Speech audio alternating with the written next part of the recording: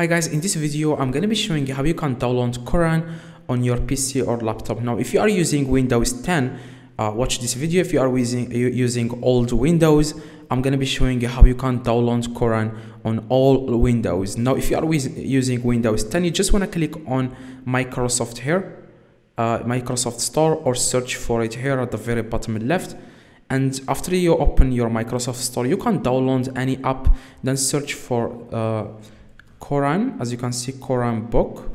Search for Quran uh, book. Okay Quran book as you can see. After that you will find a lot of apps that can that are um, uh, books of Quran. And as you can see for example let's say this one. Okay what you need to do guys you want to click git at the very in the in the left now if you don't want you can still uh, download you can still do the same method that i'm about to show you. Even if you are using windows 10 you can download it uh, somewhere else. Now like i said guys if you don't want to download it from microsoft store just follow these simple steps. You will be able to download it uh, here. Now the first thing you want to do guys to download it from google is to search for this. It's called holy quran book for Windows okay? Click enter and select the first website okay after that you will find this external download in the top right click on it and after that you want to click again on external download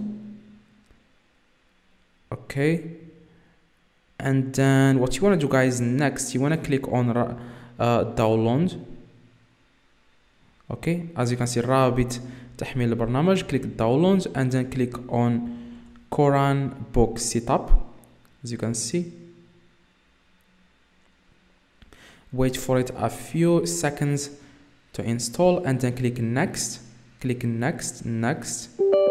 Yes click yes give the Quran a permission and then click finish and then click install um, okay and then click download and install this feature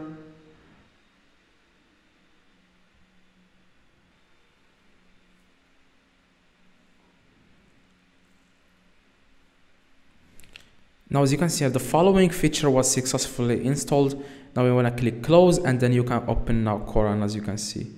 Now this is Quran. What you need to do guys you want to uh, yeah you want to just open it like this. Just gonna click this uh, arrow here.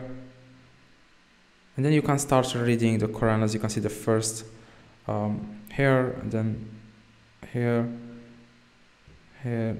So that's exactly guys how you can download Quran on your PC or laptop I hope guys this video helped you. Um, uh, have a good day guys.